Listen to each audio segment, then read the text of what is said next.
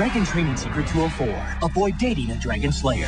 Rose? dragons have another weak spot. You want to go for their soft underbellies. Just for the record, that's all muscle down there, baby. An all-new episode of American Dragon Jake Long. Next Saturday at 9, 8 central, part of Disney Channel's So Hot Summer.